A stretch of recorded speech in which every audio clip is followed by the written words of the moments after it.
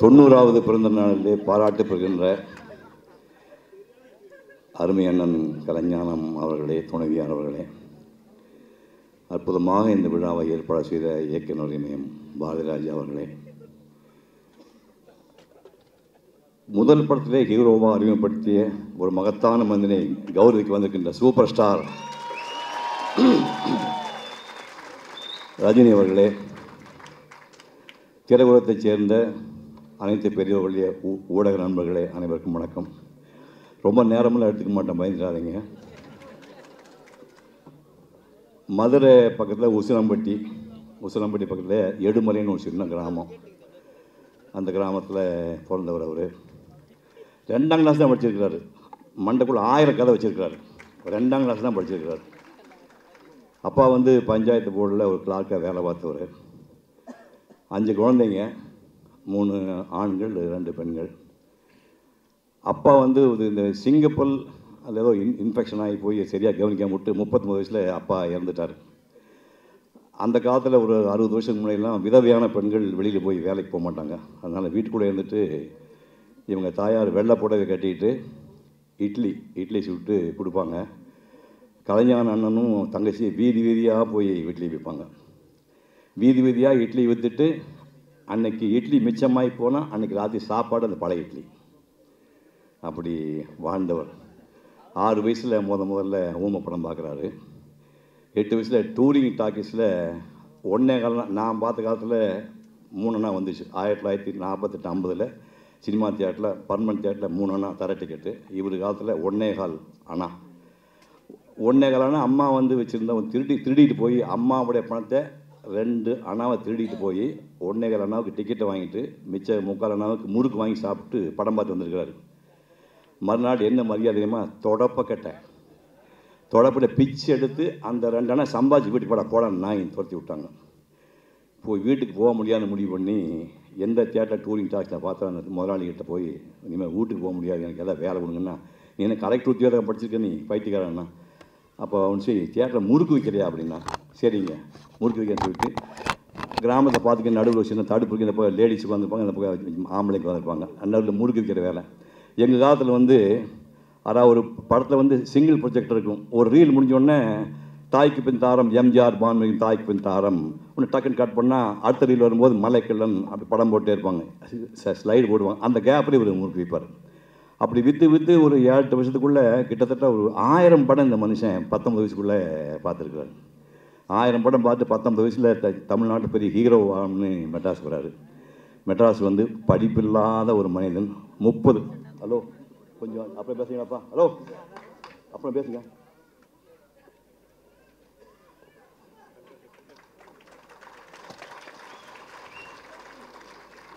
முப்பது சினிமா படம் இவர் கதை எடுத்திருக்காங்க. முப்பது சினிமா படம் இவர் கதை எடுத்திருக்காங்க. பாலச்சந்தர் மணிரத்னம் உள்பட பாதிராஜா உள்பட பாக்யராஜ் உள்பட பல டாப் டைரக்டருக்கு நூறு படங்களுக்கு கதை டிஸ்கஸ் பண்ணியிருக்கிறாரு. பதினாறு படங்கள் எடுத்திருக்கிறாரு. ரெண்டு படம் டைரக்ட் பண்ணியிருக்கிறாரு. இது நம்மால் படத்தில் ஒரு ஐயரை வருஷத்தில் பின்னி எடுத்துட்டாரு. ஆனால் ஆனால் என்னும் வாடகை வீட்டில் குடியிருக்கிறார். அமைச்சர்கள் மரியாதைக்குரிய அமைச்சர் வந்திருக்கிறாங்க. நாங்கள் பிச்சை எடுக்கலை. இவ்வளவு மகத்தான கலைஞன் இன்னும் வாடகை வீட்டில் குடியிருக்கிறான். அதற்கு ஏதாவது செய்ய வேண்டும் என்று மன்றாடி அன்போடு அமைச்சர்களிடம் கேட்டுக்கொள்கின்றேன். ரஜினிகாந்த் ஹீரோவை போட ஆரம்பித்து தேவர் சார்கிட்ட எப்படி சண்டை போட்டாருங்கிற சொல்கிறதுக்கு முன்னாடி இந்த தலைமுறைக்கு சாண்டோ சின்ன தேவர் யாருன்னு தெரியாது. சினிமாவில் எனக்கு நிறைய அண்ணன்மார்கள் உண்டு. அதை நான் மரியாதைக்கு ரெண்டு அண்ணன்மார் ஒன்று சாண்டோ சின்னப்ப தேவர்ன்ற தேவர் அண்ணன் ரெண்டாவது கலைஞானம் அண்ணன். தேவர் அண்ணன் யாரும் தெரிஞ்சுக்கணும். வரலாறு தெரிந்து கொள்ள வேண்டும். ஆயிரத்தி தொள்ளாயிரத்தி நாற்பதுகளில் கோயம்புத்தூரில் ராமநாதபுரம் பேட்டில் கோதாப்பட்டின்னா தேகப்பட்டி சாலை. கோதாப்பட்டி நடத்திட்டு இருக்காரு சாண்டோ சின்னப்ப தேவர். சென்ட்ரல் ஸ்டுடியோவில் எம்ஜிஆர் மாத சம்பளத்தில் இருக்கிறார். இந்த கிரேட் எம்ஜிஆர் நாட்டு ஆண்ட புரட்சி தலைவர் எம்ஜிஆர் அவர்கள் மாத சம்பளத்துக்கு வேலை பார்த்துட்டு இருக்கிறாரு. அவர் கோதாப்பட்டிக்கு போனால் கருந்தே உடம்புல ஒருத்தி இப்படி பிரமா பண்ணுறானேன்னு இவர் சக்கச்சேவன் இருப்பார். அவர் கரையன்னு ஒரு ஆள் பட் பாடி பில்டர் ஆஞ்சநேயரமாக இருப்பார். அந்த கோதாபட்டியில் நட்பு ஏற்படுது. ஏற்பட்டோன்னே படங்கள் வந்து ஸ்டண்ட் படங்களில் நீ தேவர் கண்டிப்பாக பேசணும் இவருக்கு கட்டாயப்படுத்தி ஸ்டண்ட் படங்கள் வேஷமாகி கொடுக்குறாரு. இப்படி மாத சம்பளத்தில் எம்ஜிஆர் இருக்கும்போது ஒரு நாள் காலையில் சத்யபாமா என்ற கிரேட் லேடி மகத்தான தாயார் பத்து மணிக்கு வீட்டு வா ஒன்று கொடுத்தனோம் வாடகை வீட்டில் எம்ஜிஆரோட அம்மா வாசல் நின்றுட்டுருக்குறாங்க சின்னத்தார் கிராஸ் பண்ணி போகிறாரு என்னம்மா வாசல் நிற்கிறீங்க இல்லை மாத சம்பளம் வாங்கிட்டு வரேன்னு ராமச்சந்திரன் போனால் மணி பத்து பதினொன்று ஆகுது. சம்பளம் வந்தால் தானே நம்ம கடையில் போய் மளிகை சாமான் வாங்கி மதியம் சமைக்க முடியும். இல்லை ஒன்றும் புரியல அப்படின்னாங்க. இருமா வர்றேன்ட்டு சின்னத்தேவர் அவர்கள் அந்த காலத்தில் இந்த ரிசர்வ் போலீஸ் பார்த்துக்கிட்டா ஒரு காக்கி ட்ராயர் போட்டுப்பாங்க அப்படின்னு அந்த விரைச்சிட்டு இருக்கும். அதாவது ரிசர்வ் போட்டு இரும்பு தேப்பி வச்சுருப்பானுங்க காக்கி ட்ராயர் விரைச்சிட்டு இருக்கும். இந்த பாக்கெட்டில் ஒரு லிட்டர் பிடிக்கும் இந்த பாக்கெட்டில் ஒரு லிட்டர் பிடிக்கும் போய் பக்கத்து வீட்டில் ஒரு பொண்ணுக்கிட்ட பேச்சிமா ஒரு தாளிச்ச மோர் விடுமா அதாவது அந்த தாளிச்ச மோர் ரெடி பண்ணுறதுக்கு ஒரு அஞ்சு மூணு நிமிஷம் ஆகல அந்த கேப் திருடி போட்டுக்கிற பாக்கெட்டில் இந்த பாக்கெட்டில் அரிசி இந்த பாக்கெட்டில் பருப்பு திருடிட்டு இந்த தாளிச்ச மோரை குடிச்சிட்டு வீட்டுக்கு வந்து சத்யபாமானுங்கிற மகத்தான பெண்மணிக்கு இந்த பாக்கெட்டில் இருந்து அரிசியை போட்டார். இந்த பாக்கெட்டில் இருந்து இதை சரி போட்டார். ப ஒரு மணிக்கு எம்ஜிஆர் வர வீட்டுக்குள்ள சமைக்கல வாசனை வருது. நான் காசு கொண்டு வரலையே அம்மா எப்படி சமைச்சாங்க? அப்படின்ட்டு என்னம்மா பண்ணேன்னா ஒன்றும் இல்லைப்பா. சின்னப்பா வந்து காசு கொடுத்தானா அன்று அந்த அரைப்படி அரிசி கொடுத்ததற்காகத்தான் பதினாறு படங்களில் நடித்து கொடுத்தார் எம்ஜிஆர்.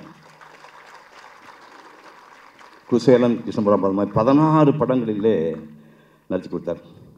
அங்கே ஒரு சிக்கல் இருக்குது. தாய்க்கும் தாரம் வந்து ஊர் பக்கத்தில் ஆளுக்கு பத்து ரூபா. நீ பத்து ரூபா கொடுறா நீ பத்து ரூபா ஆளுக்கு பத்தாயிரம் பத்தாயிரம் வாங்கிட்டு ஒரு லட்சம் ரூபா கொண்டு நேராக வாகினிக்கு வராரு. நாகரிக ஆயிரத்தி தொள்ளாயிரத்தி ஐம்பத்தி நாலு வாக்கில். வந்து நாகரிகா கால் விழுந்து சாமி எங்கிட்ட ஒரு லட்சம் தான் பணம் இருக்குது. படம் முடிக்க வரைக்கும் நீ அஞ்சு பைசா கேட்கக்கூடாது. ஃபிலிம் செலவு ஷூட்டிங் செலவு சகலமாக நீ தான் பார்த்துக்கணும். நான் பார்த்தா ஒரு லட்சம் கொடுத்துட்டேன். எனக்கு கேட்கக்கூடாது காலில் விழுந்து அந்த ஒரு லட்சம் பணத்தை கொடுத்துட்டு தாய்க்கு பின் தாரம் படத்தை எடுத்து ஆயிரத்தி தொள்ளாயிரத்தி ஐம்பத்தாறுலேயே வெளியிடுறாரு சூப்பர் ஹிட்டு நான் அந்த படத்தை மதுரையில் பார்த்தேன். மதுரை தேட்டரில் தாய்க்கு பின் தாரம் படத்தை நான் சின்ன வயசில் பார்த்தேன் நான். படம் முடிஞ்சது எம்ஜிஆருக்கும் தேவரனுக்கு ஏதோ சின்ன மனஸ்தாபம். அதை இப்போ நம்ம ஓப்பனாக சொல்ல முடியாது. மனஸ்தாபம் வந்த உடனே என்ன நீ பெரிய உலகத்தில் ஹீரோ நீ இல்லைன்னா படம் எடுக்க முடியாதா? அப்படி இவர் கோச்சிட்டாரு அவர் போயான்னு கோச்சிட்டு போயிட்டார். எம்ஜிஆர் நேராக போய் சீர்காழியிலே நாடக இன்ப கணவன் நாடகம் போடுறாரு. நாடகத்தில் குண்டுமணின்னு அவர் நடிக்கிறது போக படங்கள் ட்ராமாலையும் சண்டையெல்லாம் போடுவார். குண்டுமணிங்கிறது எம்ஜிஆர் படம் நாலு படங்கள் வெயிட்டான ஆள் அந்த குண்டுமணியை மேலே தூக்கி சுற்றி கீழே போடும்போது தவறுதலாக கால் முழங்கால் விழுந்து முழங்கால் உடஞ்சி போச்சு. முழங்காலத்தில் உடஞ்ச உடனே இந்த காலத்து எந்த காலத்தையுமே எம்ஜிஆர் வா முடிந்து விட்டது. அதோ எம்ஜிஆர் க்ளோஸ் அப்படிங்கிறாங்க. இங்கே என்ன ஆகி போச்சு நீலமத்தோட எடுக்கிறாரு சின்ன தேவர். நீலமத்தோட எடுத்தார் செங்கோட்ட சிங்கம் எடுத்தார் வாழவத்தி தேவன் எடுத்தார் யானை பார்த்து எந்த படம் ஓடல. ஒரு நாள் துண்டு எடுத்துகிட்டு தோளில் போட்டு நேராக நாளைக்கு போனார். சாமி நான் ஊருக்கு போகிறேன் என்னய்யா? ஒன்றும் சரிப்பட்டு வரல. தொடர்ந்து நஷ்டமாக போயிட்டு இருக்குது. நான் பழையபடி ஊருக்கு போய் ஏதோ தொழில் முடிக்கணும். பைத்தியக்காரன். சாங் ரெக்கார்டிங் பண்ணு பாட்டு ரெக்கார்டு பண்ணு. நீ பார்த்துக்கலாம் போ அப்படின்னாரு. இவர் வந்து ஏ தியேட்டர் வாகன ஏ தியேட்டரில் சாங் ரெக்கார்டு பண்ணிகிட்டு இருக்கிறாரு சின்ன தேவர். எம்ஜிஆர் என்ன பண்ணார்? எம்ஜிஆர் கதை முடிந்ததுன்னு சொன்னால் முடியவில்லை சொல்லுங்க ஆறு மாதம் அந்த காரை ரெடி பண்ணி அதே வாகி ஸ்டுடியோவுக்கு வந்து வாகி ஸ்டுடியோனா பழைய காலத்து படம் பார்த்துருப்பீங்க. ரெண்டு வெள்ளை மாடு சண்டை போடுற மாதிரி சீன் வரும் படங்களில். அந்த வெள்ளை மாடு முடிச்சிருக்க மாதிரி அந்த கார்டன் நின்று அதே குண்டுமணியை தூக்கி தோளில் வச்சு இந்த பிரஸ்காரங்க அந்த பிரஸ்காரன் கூப்பிட்டு எம்ஜிஆர் சாகவில்லை வந்து விட்டாங்க திரும்ப அப்படின்னு சொல்லி நூறு படம் எடுத்துகிட்டே இருக்காங்க. எடுத்துகிட்டு இருக்கும்போது செய்தி வந்து சின்ன பிள்ளையாருக்கு போகுது நேராக அங்கே வந்தார். எம்ஜிஆர் வந்து ஆண்டவனே கூப்பிடுவார். என்ன ஆண்டவனே பண்ணுறீங்க அப்படின்னாரு. இல்லை எம்ஜிஆர் கதை முடிஞ்சுன்னு சொன்னாங்க. ஆறு மாதம் தயாராகி அதே குண்டுமணி தோல் தூக்கி வச்சு இப்போ ஃபோட்டோ எடுத்துருக்கோம் பார்த்தீங்களா அப்படின்னாரு. நீங்கள் என்ன பண்ணுறீங்க நான் சாங் ரெக்கார்டு பண்ணிட்டேன் பார்க்கல கேட்கலாமா வாங்க. பாட்டு கேட்டார். பாட்டு நல்லா இருக்குங்களே. அப்படின்னா ஆமாம் யாருங்க ஹீரோ நடிக்கிறாங்க? எனக்கு எவன் இருக்கான் ஹீரோ எனக்கு எவன் நடிச்சு கொடுப்பான்? அது ஏதோ கன்னடத்துக்கான எவனோ அதை போட்டுருக்க அப்படின்னா ஏன்னு நான் இல்லையாண்ணே அப்படின்னா கட்டி பிடிச்சி அண்ணா ரெண்டு பேரும். கட்டி பிடிச்சி அழுதுட்டு பதினாறு படம் தொடர்ந்து பதினாறு படம் அந்த நட்பு கடையாக வாழ்ந்தாங்க. அந்த சின்ன பெத்தவர் இவருக்கு சொல்கிறார் கலைஞானங்கிட்ட டே கலைஞானம் நீ காசு பணம் ஒன்றுமே பண்ணிக்கல. நீ ஏதோ ஒரு படம் எடு நான் ஃபைனான்ஸ் பண்ணுறேன் அப்படின்னாரு. இவர் ஆறு புஷ்பங்கள் அதுக்கு முன்னாடி ஒரு படம் எடுத்து ரஜினி சாரை பார்த்தா அது பழக்கமாக இருக்கார் இவருக்கு மைண்டில் ரஜினி வச்சு படம் பண்ண படம் பண்ண உள்ளே ஒரு பெல் அடிச்சுட்டே இருந்திருக்குது. சரி என்ன பண்ணார் முதல்ல கதை ரெடி பண்ணிக்குவோம் ஹீரோ ரெடி பண்ணிட்டு வா. நானும் ஃபைனான்ஸ் பண்ணுறேன்ட்டார் நேராக பார்த்தாரு ரஜினி சாரை மைண்டில் வச்சுட்டாரு. ராயப்பேட்டாவில் ஒரு ரெக்கார்டிங் தியேட்டருக்கு அது பக்கத்தில் ரஜினி குடியிருக்கிறாரு அந்த வீட்டுக்கு போய் நடராஜ் இருக்கிறார். நடராஜ் கூடமாக நடிக்கிற ஆள் அவர் கூட இருக்கிறாரு.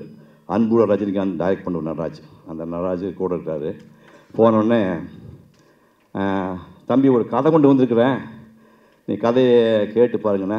கதை கேட்ட கண்ணே பிரமாமாக்குண்ணே நீ தான் ஹீரோண்ணா என்னண்ணே காமெடி பண்ணுறீங்களாண்ணே இல்லை இல்லை சத்தியமாக நீ தான் ஹீரோண்ணா நான் ஹீரோவா என்ன சொல்கிறீங்க நீ நிச்சயமாக நீ தான் ஹீரோண்ணா சம்பளம்னா சம்பளம் நீங்கள் நடராஜ்கிட்ட பேசுங்க அப்படின்னா. அந்த ஆறு புஷ்பங்களுக்கு வெறும் ஏழாயிரம் ரூபாய் சம்பளம். இப்போ பிக்கப் ஆகிட்டு வர பரபர பரபரப்புன்னு வந்துட்டுருக்காரு அப்போ நடராஜ் கூப்பிட்டாரு அண்ணன் அவர் ரொம்ப பரபரப்பாக வந்துட்டுருக்கிறாரு நீங்கள் அந்த ஆறு புஷ்பங்கள் சம்பளமே கொடுக்கக்கூடாது. நீங்கள் எதுக்கு பார்த்துக்குங்க? அப்படி சொன்னோடனே தடாருன்னு ஐம்பதாயிரம் ரூபாய் சம்பளம். ஆரம்பிக்க வேலை படம் ஹீரோ படம் ஐம்பதாயிரம் பணம் கொடுக்குறேன். ஐயாயிரம் ரூபாய் அட்வான்ஸு ரெண்டு நாள் தரேன்ட்டார் இல்லை வீராப்பு தான் வெட்டி வீராப்பு தான். கோமனை வெறும் கோமனை வச்சிருக்கிறாள் நான் ரெண்டு நாள் ஐயாயிரம் தரேன்ட்டார் போய் பார்த்தா எங்கேயும் பெரட்ட முடியல. நம்ப மாட்டேங்க. இதோ அந்த அம்மா நீலப்பட வெட்டிருக்காங்களே அந்த அம்மா கழுத்தில் மஞ்சள் கயிறை போட்டு விட்டு இந்த தாலி தங்கத்தை எடுத்து விற்று நாலாயிரத்தி ஐநூறுவா ரெடி பண்ணி ஒரு ஆள் கிடைக்காம வெங்கட்ராமையர் கிட்ட ஒரு முந்நூறு வாங்கி ஐயாயிரம் ரூபாய். இந்த ரஜினி இந்த கிரேட்ஸ் ரஜினிக்கு ஐயாயிரம் ரூபாய். கிடைக்கல எங்கேயும் கிடைக்கல. பொண்டாட்டி தாலியை மஞ்சள் கைத்தை போட்டு விட்டு தாலியை வைத்து இந்த மனிதன் நாலாயிரத்தி எழுநூறு அது ஒரு தாலி அதிகமாக போகிறேன் இன்னொரு வெங்கட்ராமையர் மூவாயிரம் கொடுத்தாரு. அதை வாங்கி சேர்த்து ஐயாயிரம் ரூபாய் அட்வான்ஸ் கொடுத்தாரு. அப்புறம் ரஜினி வந்து உயர கொடுத்து நடிக்கிறாரு. மேட்டுப்பாளையம் போய் ஷூட் பண்ணாங்க. ஒரு பாறை நூறு அடி உயர பாறை. எவனுமே ஏற முடியாது. ப்ரொடக்ஷன் மேட்சில் போய் ப்ரொடக்ஷன் மேட்ச் கேள்வி இழுந்து அவன் சாகல் நல்ல வேலை.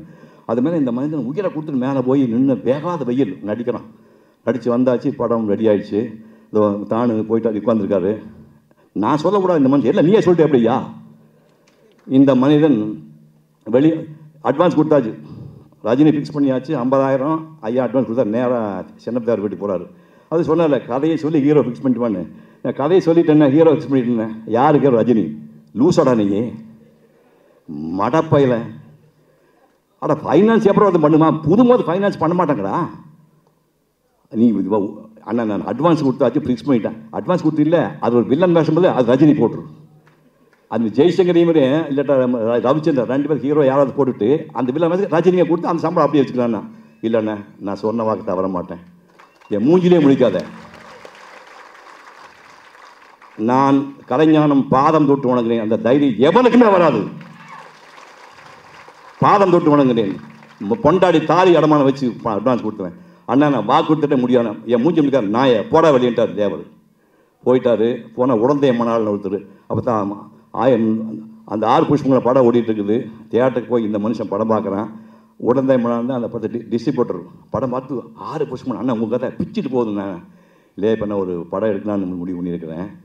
ரஜினி சார் ஃபிக்ஸ் பண்ணிட்டேன். அதை ரொம்ப சந்தோஷம் ரொம்ப சந்தோஷம்னு சொல்லிட்டு அவர் வடார்காடு தென்னார்காடு செங்கல்பட்டுன்னு என்எஸ்சின்னு பேர். அந்த ஏரியாவுக்கு பத்தாயிரம் ரூபாய் அட்வான்ஸ் குழந்தைய மனால் கொடுத்துட்டாரு. ரெண்டாவது வந்து த கிரேட் ராஜ் காதர்னு பேர். நீங்கள் ராஜ்கரன் சொல்லுங்க. ராஜ்கரன் ஒரிஜினல் பேர் காதர். ராஜ்கரன் வந்து திருச்சிக்கு பெங்களூருக்கு அவர் பத்தாயிரம் கொடுத்து அட்வான்ஸ் கொடுத்துட்டாரு. அப்புறம் ஐயாயிரம் ரூபாய்க்கு மெட்ராஸ் கொடுத்து வாங்கினா அந்த மனுஷங்கிட்ட த கிரேட் டானு வந்து அந்த ஐயாயிரத்துக்கு பதிலாக இன்னொரு ஐயாயிரம் பத்தாயிரம் ரூபாய் ஓட்டி இவர் வாங்கிட்டார். வாங்கிட்டு படம் முடியுது. முடியும் போய் இன்னும் சிக்கல் வருது. ரீ ரெக்கார்டிங் பண்ணோம் இளையராஜா கிட்ட போகிறாரு அசிஸ்டண்ட் கூப்பிட்டு எத்தனை நாள் அங்கே ரீ ரெக்கார்டிங் அப்படின்னாரு. ஆனால் ஒரு நாலு நாள் ஆகுண்ணா என்னையா வம்பா இருக்குது. என்கிட்ட மூணு நாளைக்கு தான் என் காசு இருக்குது. இல்லை இல்லை பிரம்மா நீ ராஜா கிட்ட போச்சுண்ணா வேறு படி ராஜா கிட்ட போய் ராஜா நீ மூணு நாள் ரீ ரெக்கார்டிங் முடிக்கணும். நாலாவது நாள் எனக்கு காசு இல்லைண்ணா. என்ன பைத்தியாரமாக பேசுகிறீங்க படம் பிரமாதம் வரும்ண்ணே. ரெண்டே நாள் ரீ ரெக்கார்டிங் முடிக்க முடியும்னால ரெண்டு நாள் என்ன முடிக்க முடியும். ஆனால் இது பிரமாதமான படம். நீ பேசாமல் இருங்கண்ணா. அட பைத்தியாரா மூணு நாளைக்கு மேலே என்கிட்ட கையில் காசு இல்லைண்ணே என் சம்பளத்திலே பிடித்துக்கொள். என் சம்பளத்தை பிடித்துக்கொள் என்று அந்த சம்பளத்தை கூட்டு கொடுத்து நாலாவது ரெக்கார்டிங் பண்ணி முடிஞ்ச உடனே உழைச்சவன் வயிற்றில் அடிக்கிறான்னு சொல்லிட்டு அந்த இளையராஜாவுக்கும் ஃபுல்லாக செட்டில்மெண்ட் பண்ணி அந்த படத்தை ரிலீஸ் பண்ணார். ரிலீஸ் பண்ணால் இந்த ஆள் முதல் தடையாக வந்து சூப்பர் ஸ்டார் ரஜினிகாந்த். உங்களுக்கு தெரியாது. முதல்ல முதல்ல ஒரு ஒரு சாதாரண பையன் கண்டக்டராக அந்த ஒரு பையன் வந்து சூப்பர் ஸ்டார்னு கட் அவுட் வைக்கும்போது அவன் எப்படி நின்றுருப்பான் நினைச்சுப்பாங்க சிவாஜி கணேசன் இந்த பக்கம்? உலகப்போர் சிவாஜி எம்ஜிஆர் நாட்டாண்டு எம்ஜிஆர் ரெண்டு பேரும் உச்சத்தில் இருக்கிறாங்க. ஒரு சின்ன பையனுக்கு சூப்பர் ஸ்டார் ரஜினிகாந்த் இந்த மனுஷன். என்ன கட்ஸ் இருக்கணும்? கட் அவுட் வைக்கிறான் நடுங்கிறான் ரஜினி. ஐயோ என்னையா அப்படி பண்ணுறீங்க ஐயோ வேண்டாம் ஐயா அவங்க கோச்சு போகிறாங்க அப்புறம் மறுநாள் வந்து சூப்பர் ஸ்டார் இன்னொரு டைட்டில் போடுறாரு. இவன் ஒன்றுமே படம் பண்ணி விட்டாங்க. அதுக்கப்புறம் போய் ராஜகுமார் தேட்டரில் படம் பார்க்குறாங்க ரஜினி இன்டர்வலுக்கு உள்ளே போகிறாரு படம் பிச்சுட்டு போயிட்டு இருக்குது. படம் முடியும் போது சின்ன பத்தார் வீட்டில் கார் வருது. யாரு கலைஞானத்துக்கு ஓ இன்னைக்கு பிச்சட போகிறாரு கொன்னட போகிறாரு மூதேவி மூஞ்சில் பிடிக்காது தோர்த்தினாருன்னு சொல்லிட்டு நடுங்கிட்டே போய் நிற்கிறாரு இப்படி. தேவர் முன்னாடி. டேய் கலைஞானா உன் படம் பார்த்தேன்டா. நீ ஜெயிச்சடா. டேய் சத்தியமாக ஒன்று சொல்கிறேன் நீ சத்தியமாக தோற்று போவேன் வீணாக போவேன். என் காலில் வந்து ஒன்று கெஞ்சுவேன். உன் கடன்லாம் அடிச்சிட்டு என் கூட வச்சுக்கலாம்னு நினச்சேன். அந்த முருகன் உன்னை ஹீரோ ஆக்கிட்டான்டா. நீ ஜெயிச்சடா நான் தோற்று போயிட்டேன்டா. கலைஞானம் இந்த ரஜினி போட வேண்டாம் நான் தான்டா சொன்னேன். இப்போ நானே சொல்கிறேன் ரஜினியை வச்சு ரெண்டு படத்தை காய்ச்சிட்டு வாங்கி கொடு. ஆட கேளுங்கப்பா கதை கேளு கைதட்டு அப்போ தான் இது கைதட்டு கோமாளி இந்த ரஜினியை நான் தான்டா போட மாட்டான்னு சொன்னேன். இப்போ நானே சொல்கிறேன் ரெண்டு படத்துக்கு ரஜினி புக் பண்ணிட்டு கண்ணா? அப்புறம் இந்த கலைஞானம் போய் ரெண்டு படத்துக்கு புக் பண்ணி கொடுத்து தாய் மீதி சத்தியம் அப்புறம் அடுத்து அன்னையோட ஆலயம் ரங்கான்னு பல படங்கள் படித்தார். இன்று ரஜினி வந்து இமயமேல கொடி வச்சிருக்காரு. இமயமேல கொடி நாட்டிக்கலாம் ரஜினி. ரஜினி கொடி இங்கே இல்லை இமயம் உச்சியில் இருக்குது. அந்த மனிதன் அந்த முதல் படத்திலே தனக்கு வாழ்வு கொடுத்த அடையாளம் கொடுத்த இந்த மகத்தான மனிதனை கொண்டாட வேண்டும் என்று வந்திருக்கின்றான்.